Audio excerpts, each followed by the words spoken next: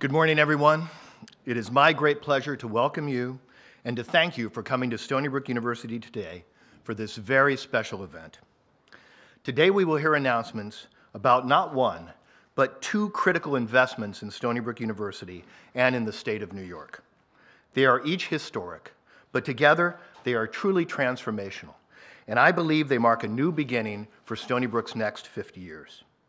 Here to help us celebrate and receive our heartfelt thanks are the top leaders from the state and the State University of New York. New York State Governor Andrew Cuomo, who is here to help us thank the Simons and make one of the announcements.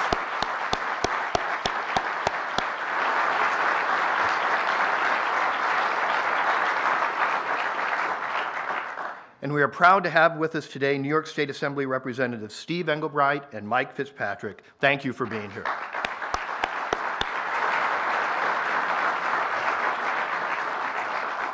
Also here from the New York State Assembly are Senator Lee Zeldin, Assemblyman Ch Charles Lavine, Assemblyman Daniel Losquadro, Assemblyman David McDonough, Assemblyman Ed Ra, Assemblyman Phil Ramos, Assemblyman Thomas McKevitt, uh, uh, Assemblyman Carl Hasty, uh, as well as Suffolk County Legislator Vivian Viloria Fisher and Suffolk County Legislator-elect Kara Hahn and Town of Brookhaven Councilman Steve Fiore Rosenfeld. Please join me in thanking all of these elected officials for coming today.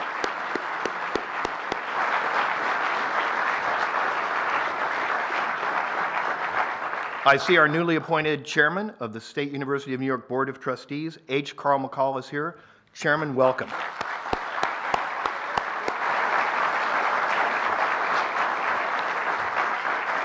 And SUNY Board of Trustee member Carrie Stoller. Carrie, always good to see you.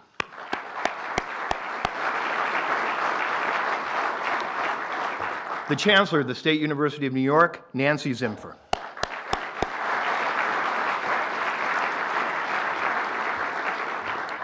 Also here is Kevin Law, President of the Long Island Association, Chairman of the Stony Brook Council. And I'm very proud to add a Stony Brook alum. Kevin, it's always nice to have you back on campus. The words historic, landmark, groundbreaking have been bantered about quite a lot recently when you hear people talking about Governor Andrew Cuomo and what he has accomplished so far in his inaugural year, and rightfully so. Governor Cuomo has successfully overseen the redesign of Medicaid, rent control renewal, ethics reform, a property tax cap, and he got same sex marriage passed. Historic, landmark, groundbreaking indeed. Just last week, he did it again concluding the initial phase of a groundbreaking economic development initiative, signing off on $785 million in economic development funding through regional councils. Stony Brook is fortunate to have participated in Long Island's plan, which was one of four selected for more than $100 million in funding. Kevin Law co-chaired that effort and deserves a hearty congratulations for his hard work and leadership.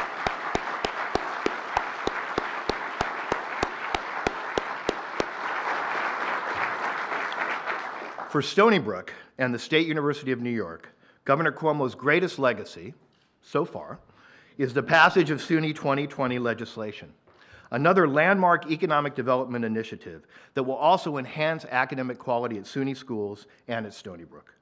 Fueled by his vision and driven by his support and that of Chancellor Zimpher, SUNY 2020, a rational, predictable tuition program which protects the most economically challenged students with a tuition credit, gave all 64 SUNY campuses a reason for optimism.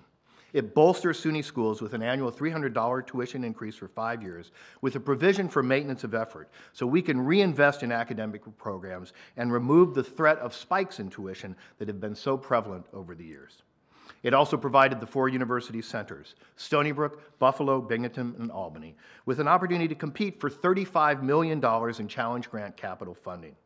All four institutions were to, invited to develop a plan that would spur economic development and advance their academic and research missions at the same time.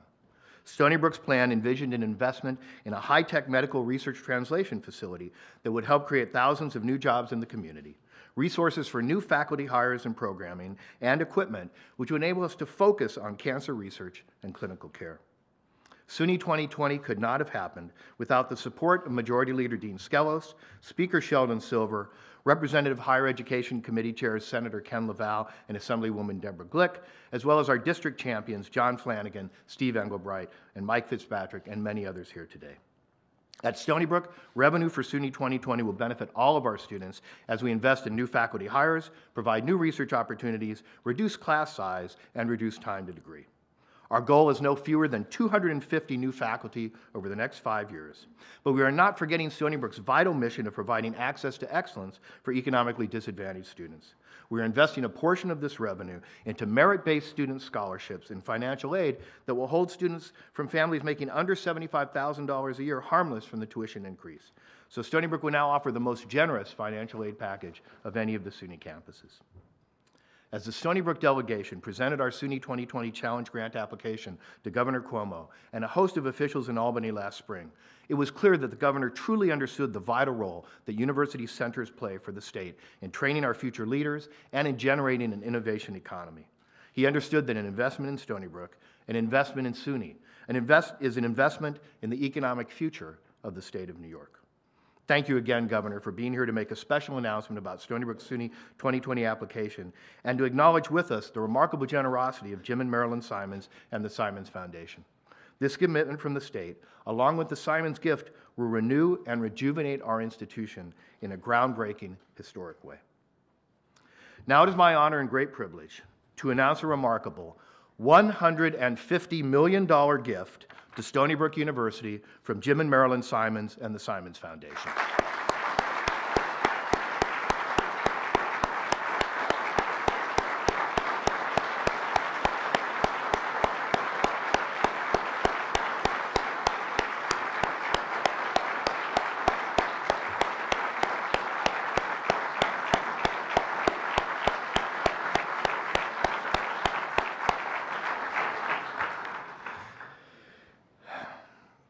This gift represents a milestone moment for our young institution and something in which we can all celebrate.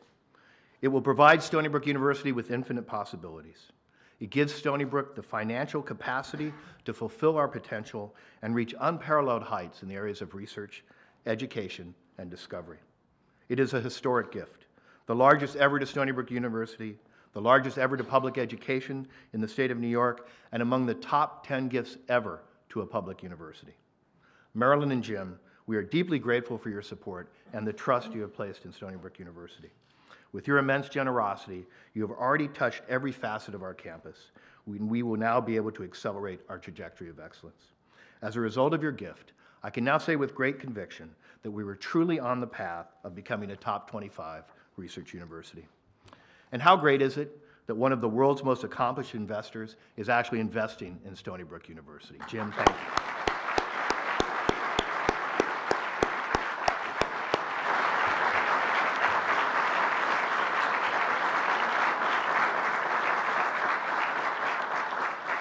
But I have to tell you, when you ask Jim and Marilyn Simons, and remember she has a PhD in economics, to invest $150 million, you better have a concrete, well thought out concept that's going to earn a return on that investment. So we work with the Simons to reimagine Stony Brook. We put together a set of initiatives that will show an immediate return on their investment and have a dramatic impact on Stony Brook University, today and well beyond for generations to come. No research university today can achieve greatness without strength in the life sciences. The Simons Gift will enable Stony Brook to transform the School of Medicine with a robust investment in several initiatives to supplement and expand our life sciences programs. Its first impact was perhaps the most important. The promise of this gift and its transformative power enabled us to recruit Kenneth Kaushansky, MD, one of the world's leading medical researchers, clinicians, and educators, to come to Stony Brook as a senior vice president for the health sciences and dean of the School of Medicine. Ken, please stand up.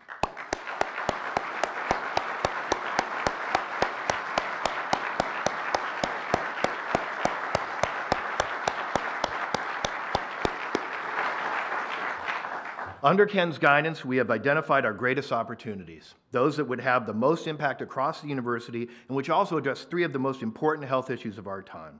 They are the neurosciences, infectious diseases, and cancer. Specifically, the Simons Gift will allow us to invest in these areas, recruiting and retaining the best and brightest researchers and clinicians to help us generate new knowledge, new treatments, and new cures for these diseases. We will build one of the best neurosciences institutes in the world to tackle diseases like Alzheimer's, multiple sclerosis, ALS, stroke, autism, and schizophrenia and addiction. We will have an NCI designated cancer center on Long Island where patients can have access to the latest therapies and the best scientists and physicians come, to come together to understand and defeat this deadly disease. And the university where the causative agent of Lyme disease was discovered will again be preeminent in the fight against infectious diseases. And the Simons Gift will enable us to invest in the enabling tools to perform this research and provide better clinical care. It will provide for major efforts in genomics, biomedical informatics, and imaging, all of which will help scientists throughout the university in multiple disciplines. It will allow us to more effectively leverage our incredible strengths in computer science, mathematics, chemistry, psychology, and physics, and our vital partnerships with Brookhaven National Laboratory and Cold Spring Harbor Laboratory. These are vitally important initiatives, and these researchers and clinicians will want and deserve a state-of-the-art facility to pursue their work. Using a portion of the Simons gifts and with the critical matching components from the state from Stony Brook SUNY 2020 plan, if it's approved, um, we will build a new state-of-the-art facility called the Medical and Research Translation Building, which we call the MART. The MART is at the hub of both the Simons Gift and the SUNY 2020 capital plan. It provides a tangible example of Stony Brook's commitment to teaching and research in the life sciences and enhancing clinical care. This new state-of-the-art facility will enable us to attract and support outstanding faculty, provide space to grow our existing cancer center, and house our new Center for Biological Imaging a true public-private partnership. The MART will be an eight-level, 250,000 square foot building with 25 research labs, a 30-room cancer uh, center clinic, 30-station clinical infusion center, a 300-seat auditorium, and new classrooms for teaching students. This will be the first new research-intensive building built on the Stony Brook Health Sciences campus in more than 30 years, and it will be magnificent. But the Simons Gift will impact far more than the School of Medicine. Jim and Marilyn recognize that the fundamental strength of Stony Brook University is its people, our human capital. An investment in outstanding faculty through endowed professorships and in graduate and undergraduate students through fellowship and scholarship programs can and will be truly transformational for us. So $50 million from the Simons Gift will provide support in the form of challenge grant funding over the next seven years for endowed professorships, graduate student fellowships, and merit-based undergraduate scholarships. This will dramatically impact our ability to recruit and retain the brightest minds in our country and from around the world to study, teach, and do their research here across all disciplines. But we're not done. The Simon Gifts also serves as a catalyst to energize the university alumni to give back to their alma mater. $1 million has been set aside to match first-time gifts to Stony Brook from alumni. So I now say to all of Stony Brook's alumni, friends, and supporters, there has never been a better time to invest in Stony Brook University. Your gift can have twice the impact thanks to Jim and Marilyn's extraordinary generosity.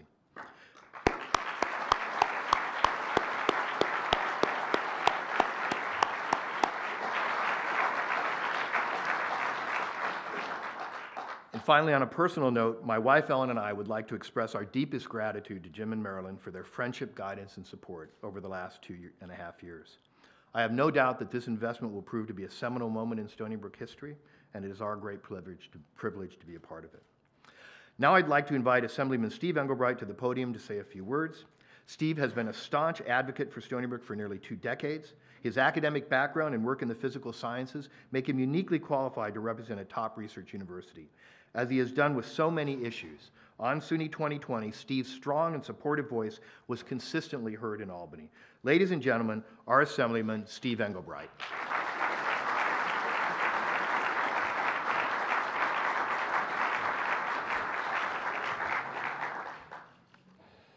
Thank you, President Stanley.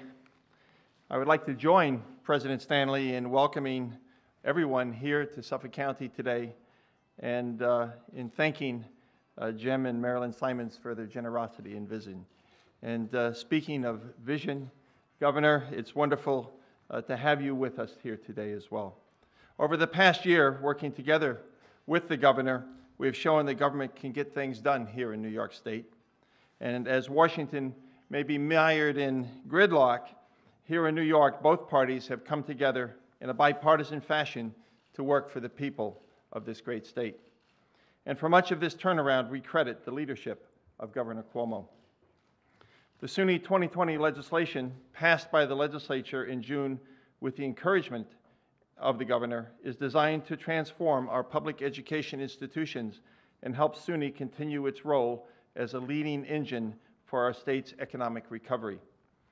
By approving Stony Brook's plan, Governor Cuomo is launching a new chapter here on Long Island and giving Chancellor Zimpher and President Stanley the tools they need to make sure Stony Brook leads the charge in rebuilding Long Island's economy.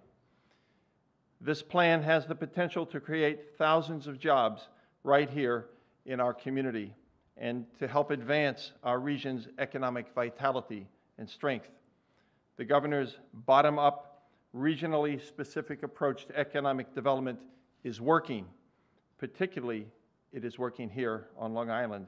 And I look forward to continuing to work together with the governor, my colleagues in the legislature, and Stony Brook University as we get our state back on track.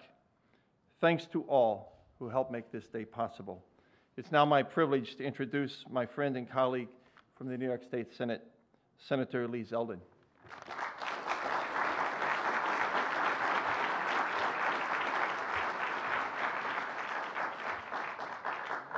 Well, welcome to Stony Brook. Welcome back to Suffolk County, Governor Cuomo.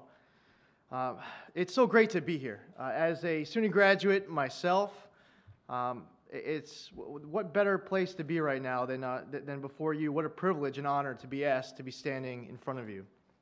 Uh, President Stanley, your leadership of this institution, we all know now, is going to lead this place to um, the limitless potential that you saw, that, that Marilyn and James saw in this place. And it's, uh, wow, it's so special. And I just want to be a help, and all of your legislative, my legislative colleagues that are here um, want, want to help you do your job as best as possible, and, and you're doing a great job. To Chancellor Zimpher, um, same, same thing goes. There's so many people here that believe in this university, uh, that want to see you successful. I, I want to give a special thanks to Senator Ken LaValle, who he can't be with us uh, right now, but he has earned a legacy of being a great champion for higher education, and he's certainly here in spirit. To all my colleagues in government, it's, uh, it's a privilege to, to be here with you today. Stony Brook has always been a jewel of the SUNY system. It's one of the top research universities in the entire country. New York SUNY 2020 is going to ensure that students receive the best education with the nation's best resources and finest educators. This plan will ensure that this university conducts the most advanced research possible with the nation's most innovative, current technology and infrastructure. Today, this campus takes a giant, bold leap forward. This is partly due to the hard work of our governor and legislature with designing New York 2020, but this is also due to the vision, the love, and the generosity of James and Marilyn Simons and the Simons Foundation. Hopefully, we all share the goal that we want to leave this place better than we found it. There's no greater purpose in life, in my opinion, of doing everything in your power, everything that's both positive and productive, to impact the lives of the people of this world. This campus and our state and our country are and will forever be improved thanks to the philanthropy of James and Marilyn Simons. I'd like to recognize our governor, my governor, for his leadership on this issue and for so many others throughout this year. I may be of a different political party, but I want him to be as successful as possible. My bias isn't uh, due to the fact that we both graduated from Albany Law School or both have beautiful twin daughters. Mine, uh, Mikayla, um, we spell the name a little differently. Uh, as I'm listening to President Stanley talking about what this generosity is going to lead, we're talking about Alzheimer's. I think of my grandparents who struggle with Alzheimer's. I think of multiple sclerosis, my father who struggled with multiple, multiple sclerosis, my daughter Mikayla who was a stroke victim when she was only two weeks old. I root for our governor, not for those other biases, but because his success is our success as New Yorkers. It was Governor Cuomo's first year as governor, my first year as a state senator and it was one of the most successful legislative years in our state's history.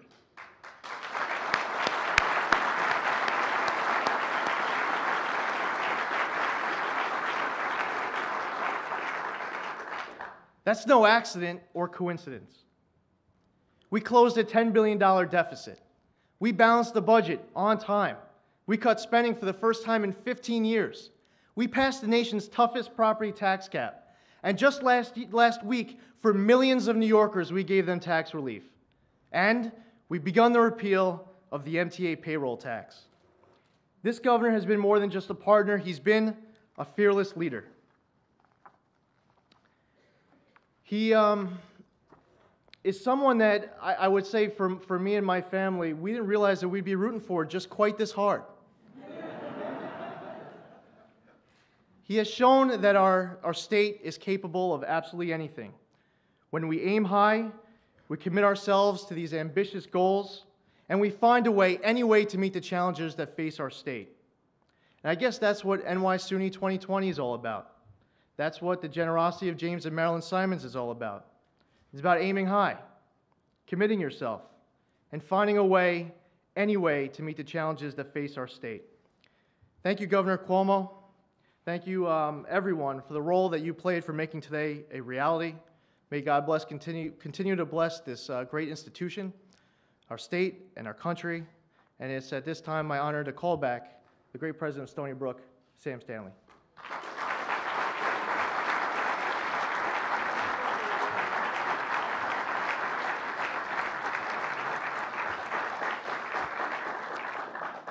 So it is now my great pleasure to invite Jim and Marilyn Simons to the podium.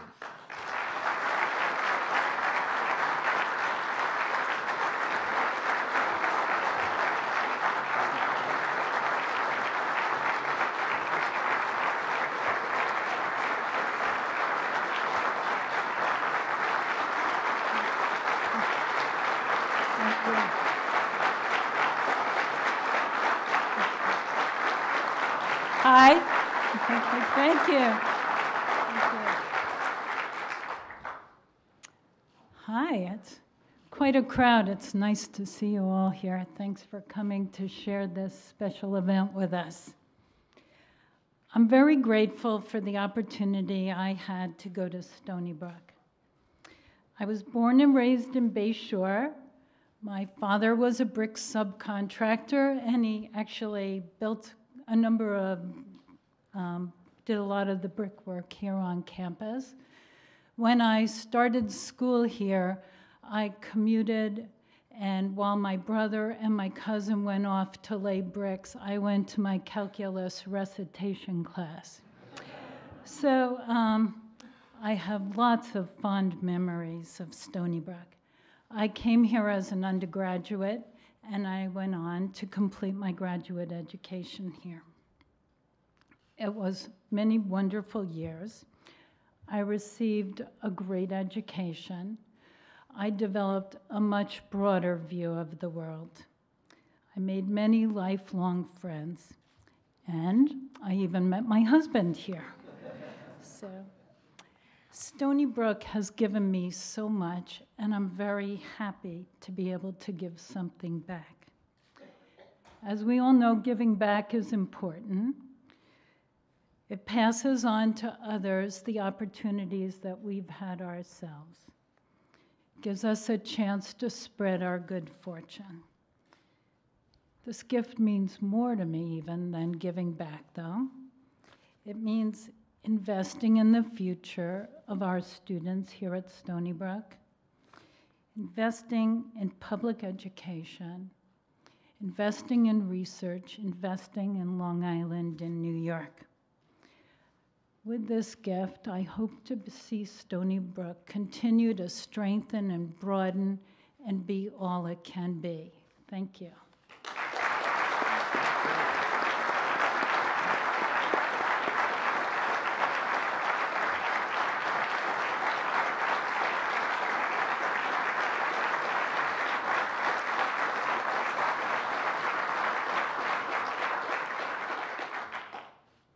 I don't know why I let her first. It, it's always.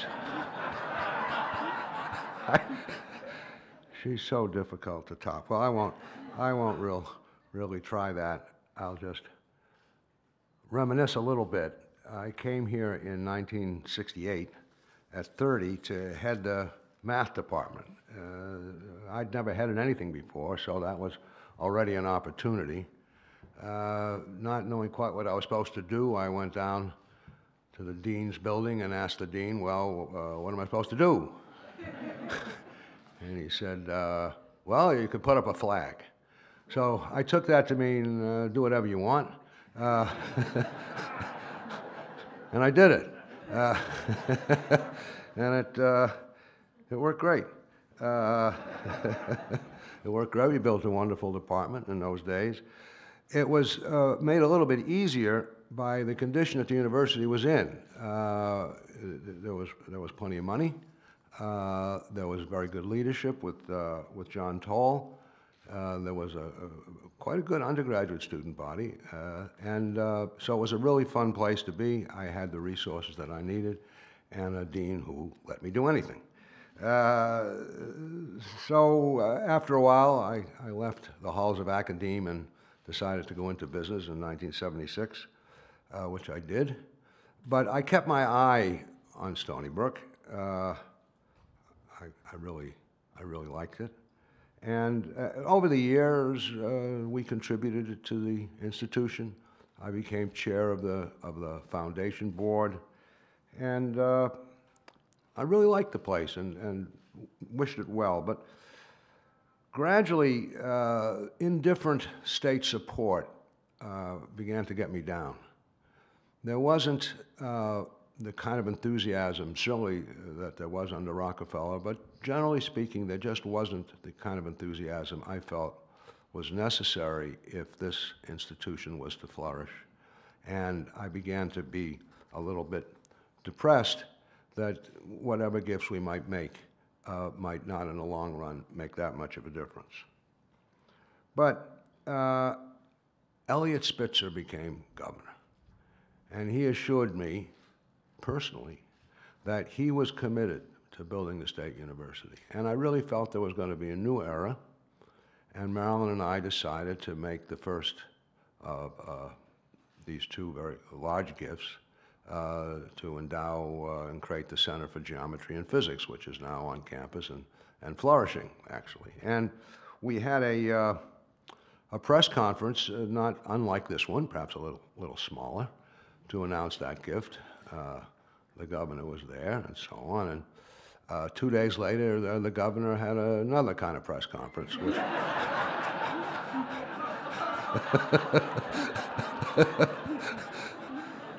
which was uh, not as happy an occasion. So uh, there, but we'd made the commitment, so the Center for Geometry and Physics was going to go up willy-nilly, but uh, that strong backing from the governor, at least that governor, was, uh, was not going to occur. Uh, was not going to occur. But on top of that, of course, uh, uh, within the next year, the state finances began to suffer with the economic uh, crisis that was developing the country. And David Paterson liked the university and, and wanted to help, but it was very, very difficult, in the university, along with all state agencies, suffered, suffered cuts. In looking at the question of how this university and SUNY in general was going to survive these cuts and give all the kids uh, in the state what they deserved, it, it became clear that the tuition policy had to be changed somehow. Tuition had to be raised, okay, holding harmless uh, the less advantaged kids to be sure, but tuition had to be raised because that was the only source of income that could possibly offset these cuts. And so um, I and others uh, started to try to encourage uh, the legislature and the governor to make that happen.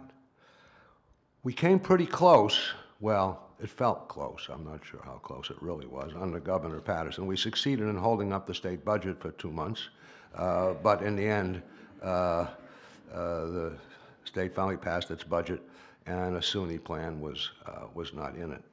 Um, when Governor Cuomo became elected, came into office, uh, we, we talked to him too. And wanted him to put SUNY reform in his budget. And he very wisely said no. Uh, the state has problems, financial problems that need to be dealt with. I don't want to put anything in that budget except what needs to be so that we can move on. And he said he would deal with this afterwards. And he did. I felt when he said that, well, you know, they say they'll do things afterwards, and maybe they will and maybe they won't. But this man did that. He followed through, and, you know, I had said to myself, and Marilyn and I had said that we would make this kind of a gift that we're making, a very substantial gift, but only if we could feel that the underpinnings for the uh, for this university were in place and that the university could grow. Well, uh, the governor uh, and uh, the legislature did their job, and uh, we did ours. So now we're in we're in really in great shape, I think.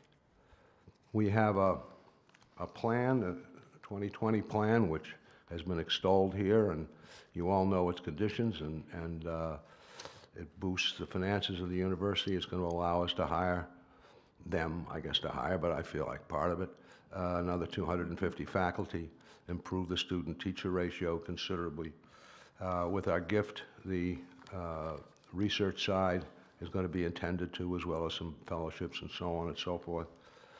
So the way I see it, the stars are now aligned. We have a solid financial base. We're flanked by two outstanding institutions, Brookhaven Labs east of us and Cold Spring Harbor Laboratories west of us. And we have great leadership at this university today. Sam came. I was part of the search committee that hired him. I was so pleased that he agreed to come. He hired an outstanding dean of medicine who was just mentioned, Ken Kaushansky. He hired an outstanding provost to replace the previous very good provost, uh, Dennis Assanis, who's come to join us and he's demonstrated his capacity to bring in the best kind of people to the campus. So, with these assets in place, I really have no doubt that within the next five, six, seven years, Stony Brook is going to join the ranks of America's and the world's truly great public universities. And I'm happy to be part of it, and so is Marilyn.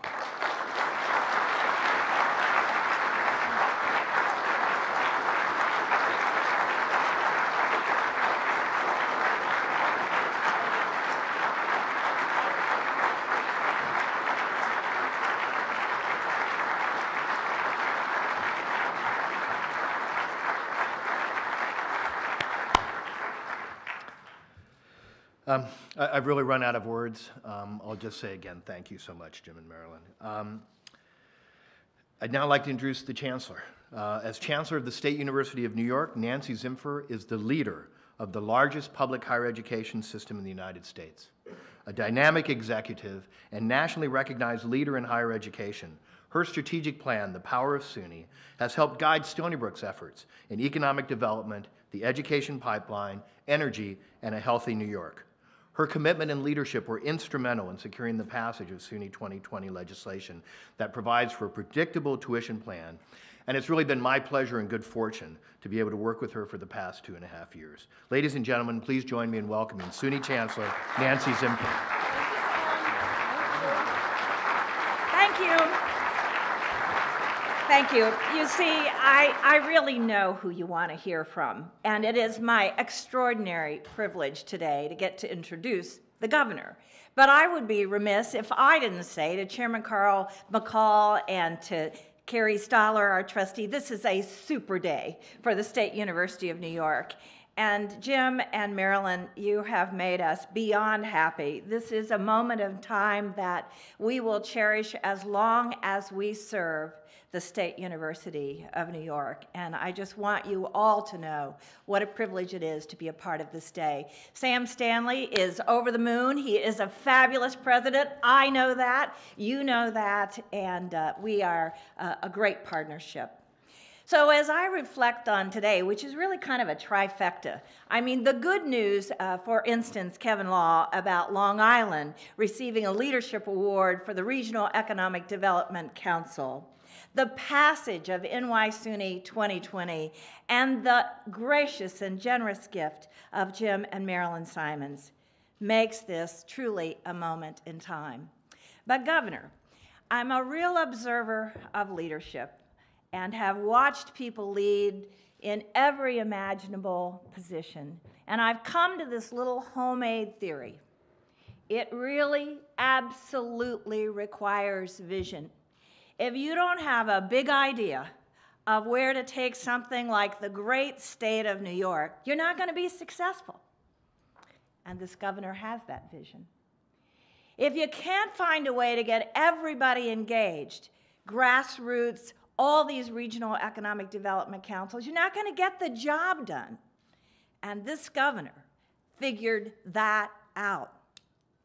If you don't lay out a plan of very strategic actions, the ones that will grow from this gift and from NY SUNY 2020, we're just simply not going to be able to move the dial in New York, but we are going to move the dial in New York.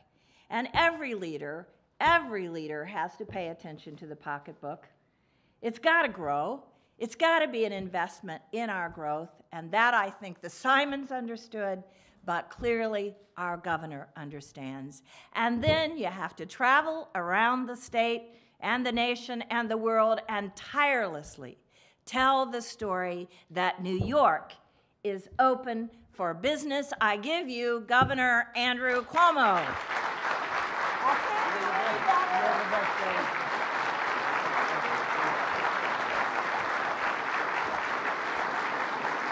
Thank you. Thank you. Thank you. Thank you, thank you, thank you, thank you, thank you.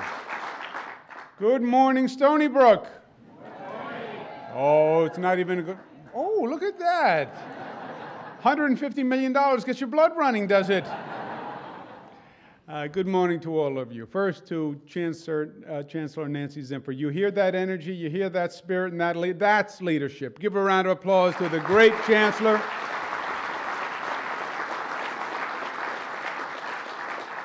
SUNY has a new energy all across the state. There's a revitalization going on, and Nancy really embodies it. And her leadership has made such a difference, really infused all throughout the system.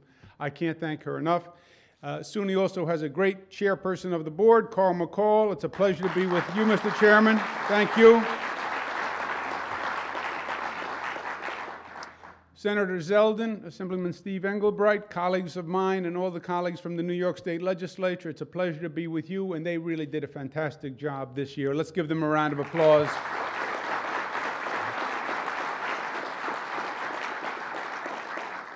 and to Jim and Marilyn. $150 million gift. Comes at a good time. I was doing my list for Santa, and I was wondering, what kind of gift would I want? I was thinking socks, actually. Uh, but it's not, uh, it's not a, a gift. And you listen to Jim, you listen to Marilyn. Uh, it wasn't a gift, and Jim, Jim gave you part of the backstory. But it, it, Jim is in the not in the gift business. He is in the investment business. Uh, and he places his money in places that are going to reap dividends. That's what he does. That's what he does extraordinarily well for many, many years. And he is investing in Stony Brook. And before he placed his investment, as he said here, he wanted to make sure there was a financial plan that made Stony Brook viable and that Stony Brook was going to reap dividends. And when we first started to talk, his entire discussion was about the non sustainability of the SUNY system and the Stony Brook system and how it was deteriorating. And the SUNY system all across uh, the state. Frankly, he was talking about the, uh, his disenchantment with dealing with uh, the state officials and the state government. By the way, I have, Jim, no press conference planned for two days. I want you to know the, so that was, that was a central point that he was making. How is the SUNY system going to work? And how is Stony Brook going to work? And how are the state's finances going to work? And what were we going to do about tuition? And how are they going to have the economic resources to compete? He said, and if that is in place, and if that system comes to be, then I will make my investment. And that's exactly what the state legislature did this past year, and that's what the SUNY system did. We have a new financial plan, that's SUNY 2020. A new financial plan, a new tuition plan that will have the financial security and success of not just Stony Brook, but all the SUNY system, SUNY schools system-wide. Uh, and then Jim said, well, now I'll make my investment. Uh, having said that, it was smart, it was wise, but it was also incredibly, incredibly generous. Uh, and we thank you, Jim and Marilyn, from the bottom of our heart for your generosity. Jim and Marilyn Simons, let's give them a round of applause.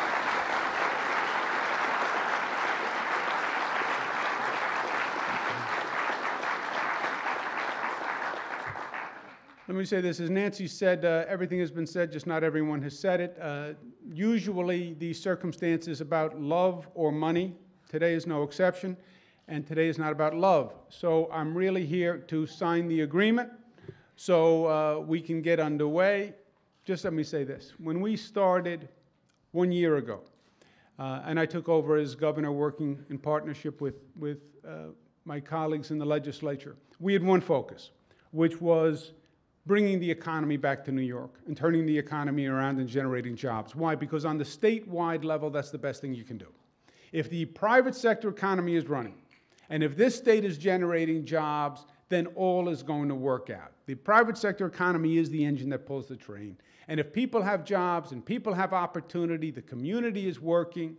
If you have a private sector economy, you have a tax base that's flourishing, we can invest, we can do good things, we can build public institutions all across the state. But we had to focus on turning around the economy. And that is a big job in New York. By the way, it's a big job all across the country. But it's particularly tough in New York because we had a reputation as being anti business. And it wasn't just a perception issue, it was a reality issue. And we've been working all year long to turn around that reality, to then turn around the perception and say to businesses take a second look at New York. You want to locate here, you want to grow here. This is a place for you and your business long term. And that's what we did in the first legislative session. Make the government work, get your financial house in order, balance the budget, do it on time, do it like grown ups, do it responsibly, and send that signal get taxes out of con- under control. Lee is exactly right. The property tax cap in Long Island, Nassau and Suffolk. Some of the highest property taxes in the nation are in New York. People are taking a second mortgage to pay their property taxes. And people are leaving because of property taxes. And you had exponential growth year after year after year 7%, 8%, 9%. We passed a property tax cap that said 2% unless 60% of the people override. But the overall message was we're changing the reality of New York and making it business friendly.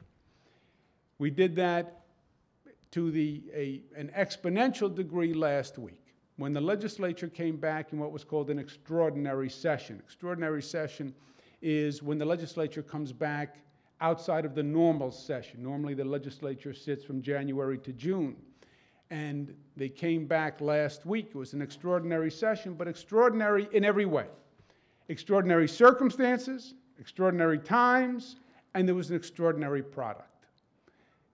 The senator is right. The assemblyman is right. The New York State legislature did what they couldn't do in Washington. They put the politics aside they stopped the arguing, they stopped the finger pointing, and they came together for the good of the people of this state. They passed the most aggressive jobs development program passed in modern political history. They passed a tax reform plan that is actually rolling back taxes on small business with the MTA tax reform, and the middle class is going to pay the lowest tax rate in 58 years, believe it or not.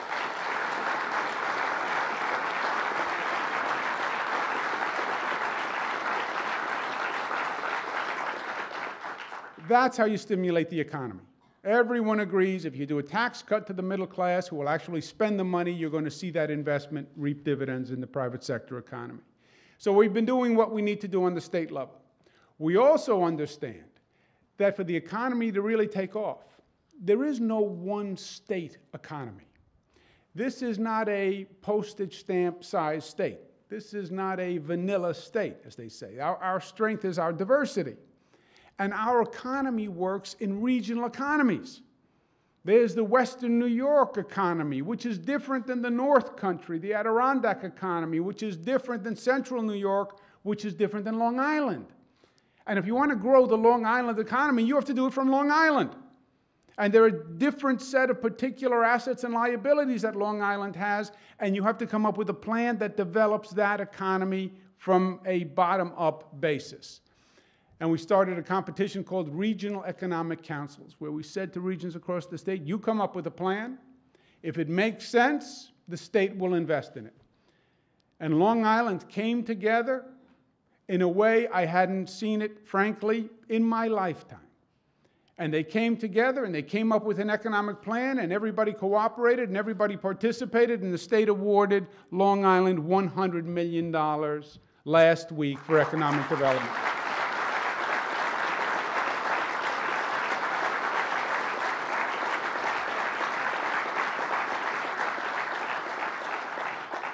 And the catalyst for all these regional economies, I believe, is going to be the SUNY system. Why? Because if you look at any region in the country where the economy is coming back, I don't care if it's the Research Triangle or Silicon Valley, it's always linked to higher ed. It's always linked. The higher ed system is always the incubator, it's always transferring work product to the commercial sec sector. And we have a great asset in this state, in our SUNY system. Jim is right. We haven't developed it, we haven't exploited it, uh, we haven't given it the attention that it deserves in recent history, but it is a great, great, beautiful asset. So, in all these regions, the SUNY system is the heart of the region and the heart of the economic rebirth. And here on Long Island, Stony Brook says that in, in volumes. Stony Brook is not just a great academic institution, but it is also a great economic generator for Long Island. The agreement we make today is great for the school, it's great for the students, it's great for academia, it's great for all of Long Island because you're going to see this economy work, and Stony Brook is going to be a major engine in that economic resurgence, and I can't tell you how proud I am to be part of it. If I had told you a year ago, because now we're getting down to the end of the year, and I'm a little reflective, it's the end of my first year, my rookie year, where my colleagues in the legislature were very kind in showing me the ropes, sometimes at great expense to me. but uh, we're coming into the holiday season, and it, it is a time of reflection. If I had said to you a year ago that the New York State Legislature was going to be one of the premier legislatures in the nation in putting aside politics and actually acting, if I had told you all of Long Island was going to come together and get past the geographic divides and the political divides, and they were all going to cooperate on one plan for the good of Long Island and not act in any parochial way. If I was to tell you that there was going to be a great family, the Simons family, who was going to step up and give a $150 million investment to Stony Brook out of the pure generosity and goodwill of their heart. If I had told you all of those things, you'd be a little dubious, a little incredulous. They all came true. And you know what else? The best is yet to be. I really believe that. Thank you, and God bless you.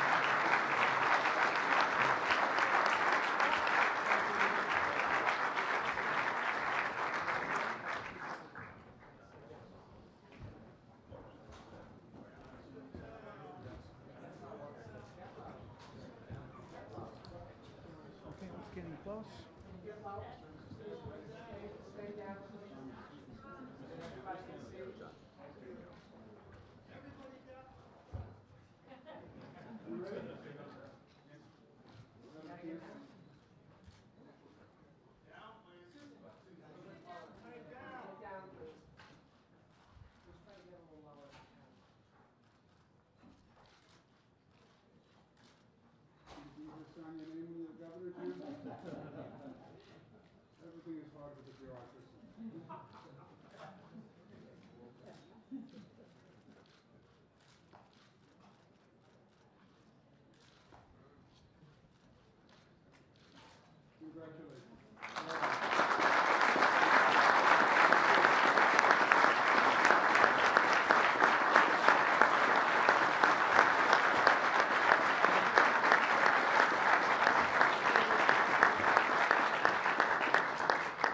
So it was about 54 years ago when then Governor Nelson Rockefeller and the State Board of Regents challenged the leaders of Stony Brook to build a university that would stand with the finest in the country.